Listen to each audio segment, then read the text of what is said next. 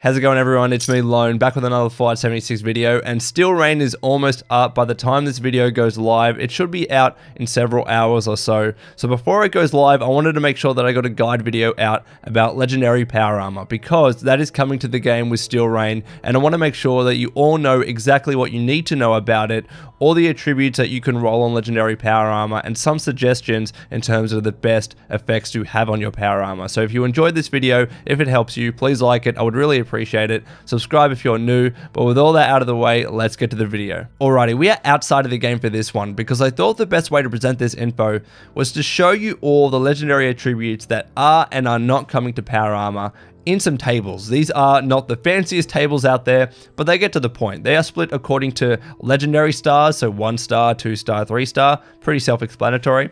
And as mentioned, I have two lists here. So the first list here are the exceptions. These are the legendary attributes that you cannot roll on pieces of legendary power armor. You can roll them, of course, on regular, normal um, armor as legendary if you want to but you just simply cannot get them in your power armor pieces. So keep that in mind. I want to cover that first so we're all clear about it.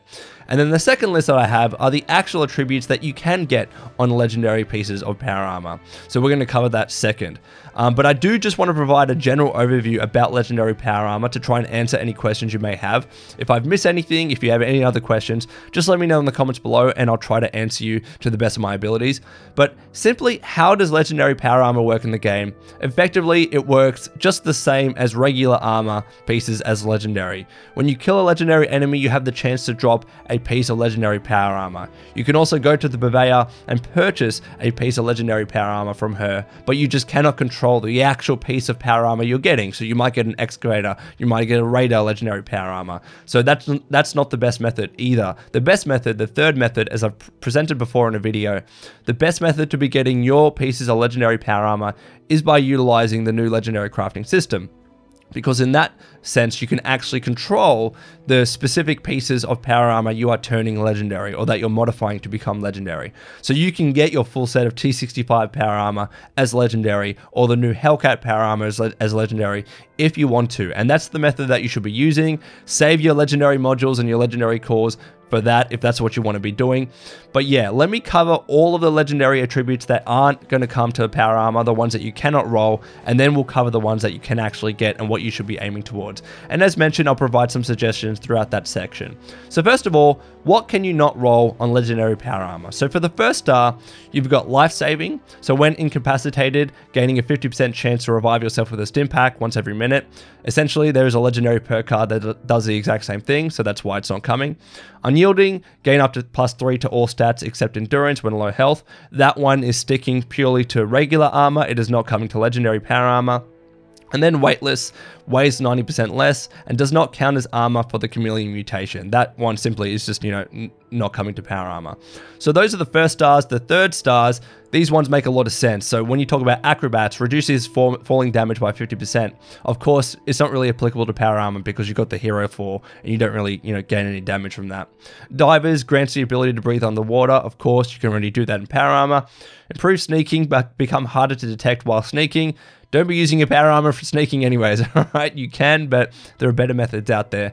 And reduce limb damage. You receive 15% less limb damage. You can't really get limb damage in power armor. So that's why those attributes are not coming to power armor. But now, let's cover all the legendary attributes that are coming to legendary power Excuse me. I'm still uh, a little bit uh, backed up. let me cover all the legendary tributes that are coming to Power Armor in the game. I'm sorry for that. I couldn't help myself. So first of all, Aristocrats. This is one of the new ones. So you get up to plus 20 energy and damage resistance the higher your caps. So essentially you want to have beyond 29,000 caps in the game because that's going to provide you for each piece that you have as Aristocrat plus 20 energy and damage resistance.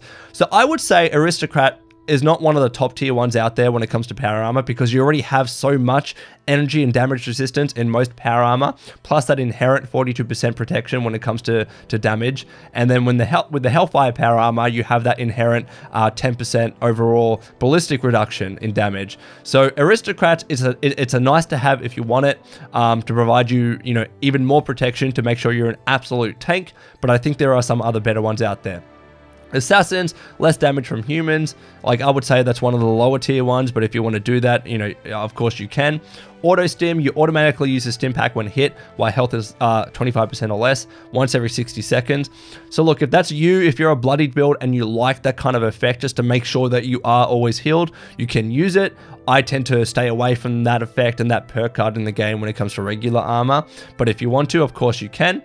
Bolstering, now I would say bolstering is of course the if you're bloodied, of course, it's better than aristocrats, right? If you're not bloodied, you would want to go to, to aristocrats to get your energy and damage resistance up because you don't need to lower your health for that. You just need to have over 29,000 caps. But if you are bloodied, you might as well have bolstering, right? So bolstering grants you plus 35 energy and damage resistance to lower your health. So when you're below 20% health, you get that full energy and damage resistance. So if again, if you want to be a tank, for sure, have bolstering if you're a bloodied build. If you don't want to be a bloodied build, and you're a full health build or whatever it might be, then just use aristocrats to become that tank instead. Uh, so moving on from bolstering chameleon, blend with the environment while sneaking and not moving. Again, I would say power armor is not the best for sneaking anyways. Um, there's better armor out there for that, but if you want to use it in a pinch, sure, you can have one piece of legendary power armor as a chameleon if you want to. Cloaking, be, uh, being hit in melee generates a stealth field once per 30 seconds. If that's for you, I would say Chameleon's probably the better method of staying stealthy. But again, these are pieces that you can equip on your on your different limbs and your torso so you can have one chameleon one cloaking mix it up how, however you want to. That's the beauty of these kinds of legendary effects. They apply even if you just have one piece on you which is cool uh, exterminators, 15% less damage from Mirelurks and bugs. Ghoul Slayers, 15% less damage from ghouls. And Hunters, 15% less damage from animals. So, again, if you want to combine those to be a little bit more protected against some of the common animals and stuff in the game, you can do that. But as I said, power armor is, is inherently very, very protective. So, I would say, unless you have a really kind of regular and basic piece of power armor, like a lower level one, a raider one, an excavator one, whatever it might be, I would probably say there are better attributes out there for you to aim towards. Uh, mutant, so plus 10 damage and energy resistance if you are mutated. Again, bolstering and aristocrats provide better resistance if that's what you're aiming for but it'll do in a pinch if you happen to roll it and you don't have anything else. And you are mutated, of course. Mutant Slayers, uh, again, this is one of the less damage from enemies one, so 15% uh, less damage from super mutants. Super mutants are pretty common in the game, and they're probably the more deadly out of the other ones here. Um, although some Mirelurks are pretty deadly, and some bugs actually. So I would say out of the, the en enemy reducing ones, this Mutant Slays is probably one of the better ones out there. Um, nocturnal damage resistance, uh, damage and energy resistance increase at night. If you ever are playing at night, you don't get a debuff during the day either, which is nice. Um, so yeah, if that's you, you can use it. Overeaters. Now, this is I, I, want to talk about overeaters because this is the one that I'm aiming towards, right? Because it's so bloody good. If you really want to be a tank in power armor, try and get overeaters. The effect is increases damage reduction up to 6, 6% as you fill your hunger and thirst meters. And of course, that's for each piece that you have, all right? So they stack in that regard. For sure, this is one of the best out there. I've said that before in the past. Generally, a percentage based damage reduction is better than simple damage resistance, okay?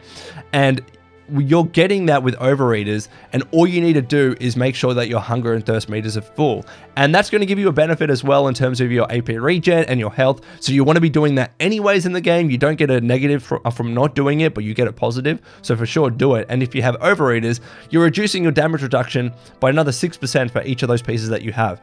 It would be so good. Yes, it doesn't affect energy resistance, but again, you can be utilizing the, the legendary perk card uh, for uh, power armor, electrical absorption to counteract that, to make sure that, you know, energy damage isn't really affecting you that much and is actually healing you. So for sure, Overeaters is one of the best legendary effects out there. I would suggest going for that if you really want to become a tank in the game, for sure. So regenerating, slowly regenerate health while not in combat. If that's you, if you don't want to farm your stim packs, it's a nice one to have. But you can also just have it on a, on a piece of power armor that you don't wear all the time. You can chuck it on and it, you know, it saves the need for you to be using a stim pack when you're outside of combat. Troubleshooters, again, 15% less damage from robots, one of the better ones in that category for sure. Vanguards grants up to 35 uh, energy resistance and damage resistance the higher your health. So if you are full health, Vanguards is the way to go. I, I didn't cover it up here with Aristocrats, but it, of course it's better than Aristocrats because it provides you more energy and damage resistance, but you need to make sure that you are full health. The benefit of, of, of Aristocrats is that it's not going to ch- chop and change in the middle of a fight, right? You're always going to have, presumably, 29,000 plus caps in, in, a, in the middle of a combat fight. That's better in that sense than Vanguards because once you lose a little bit of your health, you're actually losing energy and damage resistance in the process. So, if you don't want that to happen to you, if you always want to have that energy and damage resistance, albeit at a lower level, that's when you have Aristocrats.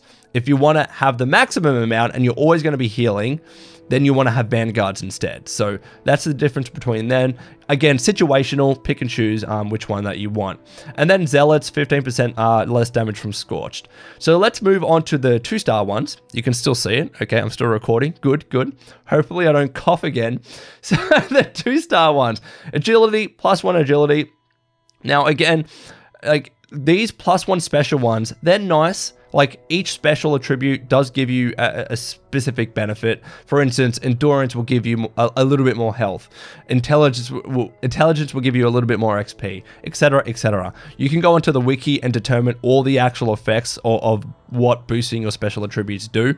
But I would say generally that you know try and aim for something else. Again, if you get it, it's a it's a nice little bonus to have plus one agility to have a little bit more AP. Great but I will try and aim for, for some of these other ones out there because there are some really good ones here.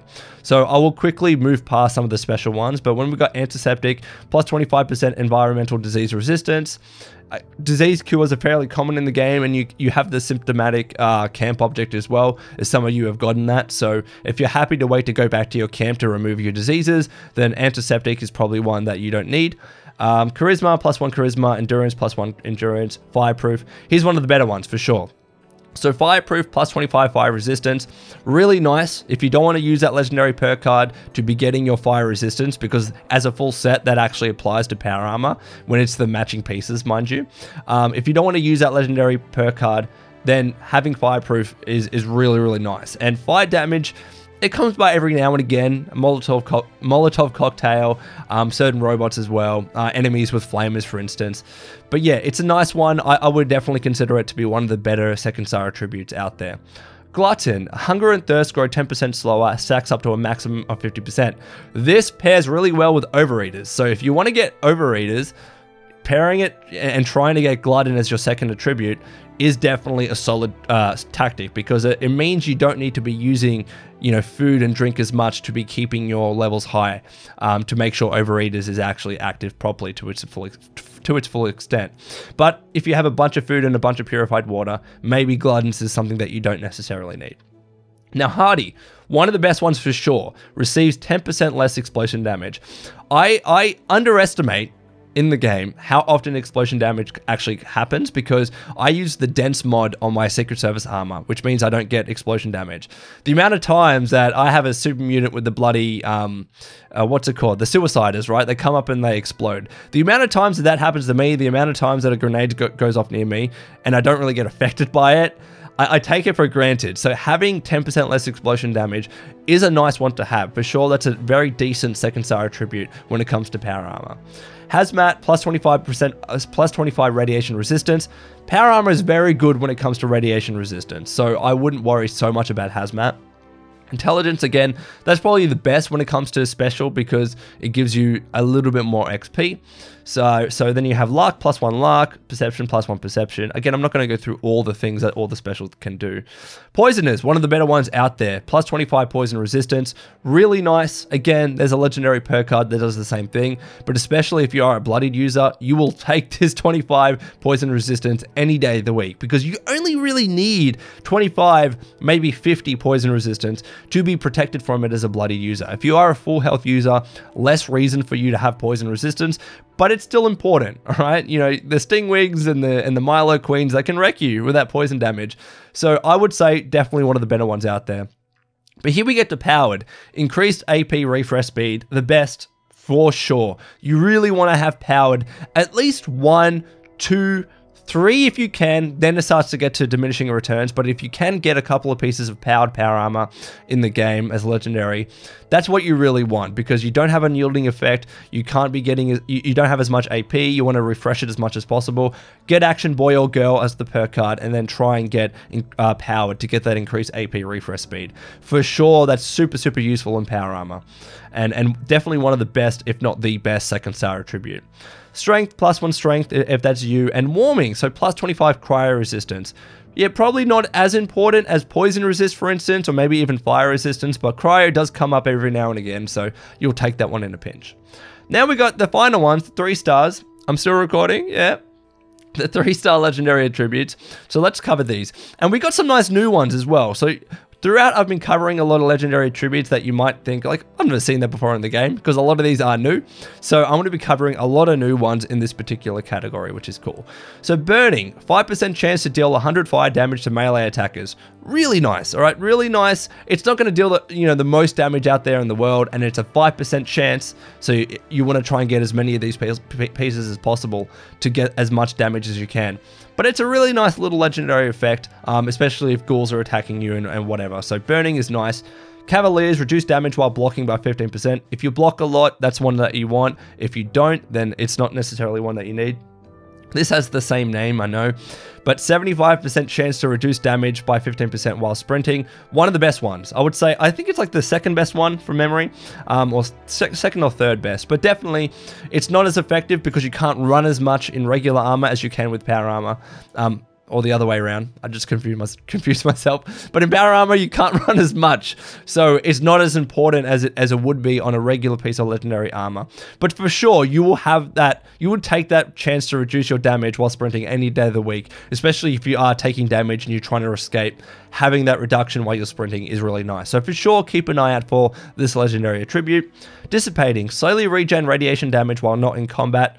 If you're if you're a blooded user, you obviously don't want this, but for sure. It, it's something that you would take if you are just a regular user in the game, a regular um, um, build in the game, like a full health build, for instance, and you don't care about keeping up your rads so high. Uh, what else have we got here? Uh, so doctors, Stimpaks, Radaway, and Rad-X are 5% more effective. Again, it's a nice one. You'll take that in a pinch if you really want to. Durability breaks 50% slower. If you don't want to keep using repair kits or repairing your power armor, definitely a nice one to have for sure. Electrified, another damage dealing one, so 5% chance to deal 100 energy damage to melee attackers. Look, generally, you'd take any one of these. Fire damage, energy damage, cryo damage. They're all really nice, I would say. So then frozen damage, 5% chance to deal 100 cryo damage to melee attackers too.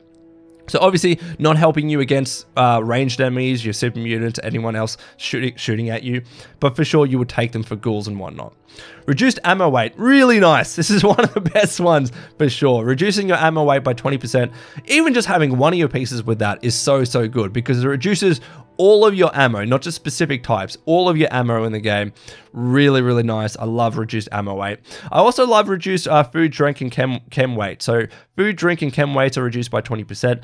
Another one that you'll take, quality of life, de yes, definitely, but it means you don't have to micromanage your, your stash so much. Reduced junk weight, another nice one if you if you collect a lot of junk. Junk items uh, are reduced by 20%. Reduced weapon weight, really nice in power armor, especially because you're probably a heavy guns user, which tend to weigh a lot. So weapon weight weights are reduced by 20%. Definitely something that you want in power armor for sure.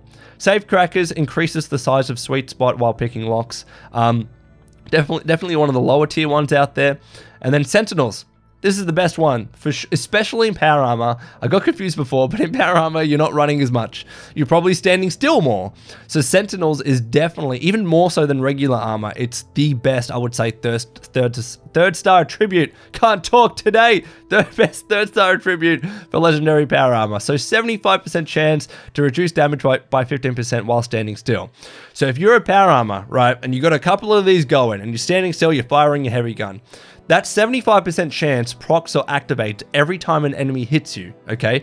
So reducing your damage by 15%, 15, 15, 15, 15. It adds up, man. It's, it adds up. And then when you add overeaters on there to reduce your damage even more, you have a Hellfire power armor, or Hellcat power armor, I should say, to reduce your ballistic damage even more. You can become, like, for sure, by far, power armor, if you want to be a tank in the game, is the best way.